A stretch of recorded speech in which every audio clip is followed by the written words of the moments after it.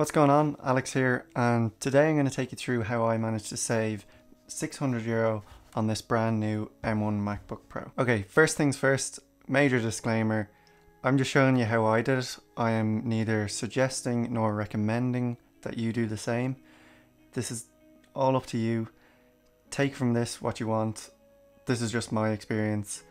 So yeah, disclaimer over. Okay, to be completely upfront and not waste any of your time, the way I did it was simply going through Apple's education store. I live in Ireland, so I went apple.ie, scroll down to the bottom, and you just click on the education store, and then you're in. Now, if you're a student, you're probably thinking, obviously, Alex, but technically, I'm not a student. I left college four years ago. I'm doing a couple of online courses, but for the most part, I'm not a student, but I still managed to get the discount. So I'm going to show you how. But first, let me break down how I actually saved 600 euro. So I'm going to be looking at the laptop because I have kind of notes here because there's a few numbers and stuff that I want to reference.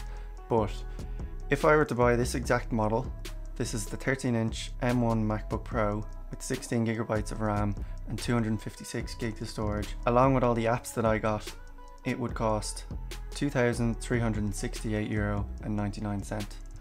Now, I only spent, I only spent 1,769 euro and 2 cent. So that's 599 euro saved. So round that up to 600 euro saved, which is crazy, I know. Full disclosure, the reason that I saved so much is because when I was buying this laptop, I actually needed to get the Final Cut Pro app, which costs 329 euro on the Irish site.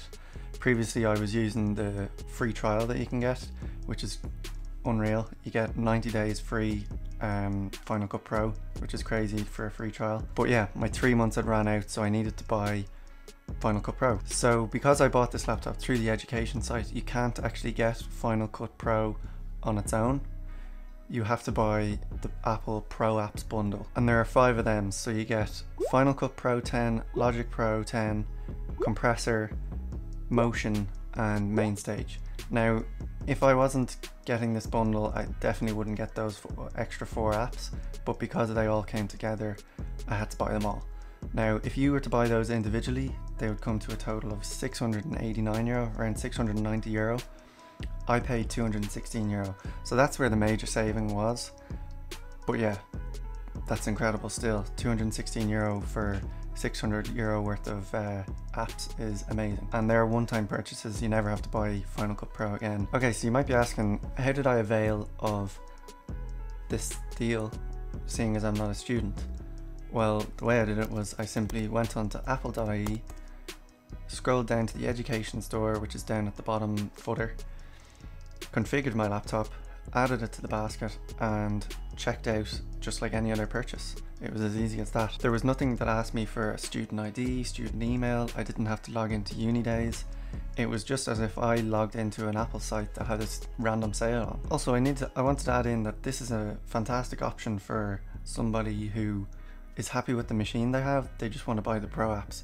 You can actually buy them separately for 229 euro. And now I'm not 100% because I obviously bought them with the laptop and they became preloaded on it.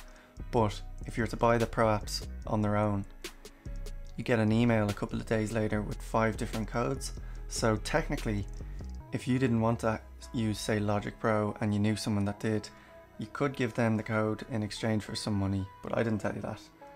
And definitely don't go setting up a business or a side hustle buying the cheap Pro Apps bundle and selling these codes because you'll definitely get caught. But if you buy it once and you don't need one of the apps, I see no reason why you couldn't maybe give it to someone in exchange for some money. That's all I'm saying. Alright, so why is this a thing on Apple's website? Well, my two cents is that it's not that big a deal to Apple. They don't care. I still spent 1800 euro on their website, so they're the real winners. And I actually ended up spending more than I probably would have because I actually upgraded the RAM. And yeah, I spent a lot of money on their website, so it's not exactly like I robbed them. Anyway, I thought that might be interesting for someone who's looking to upgrade their laptop. Again, this is what I did. I'm not recommending you do it or suggesting you do it. I'm just sharing my experience.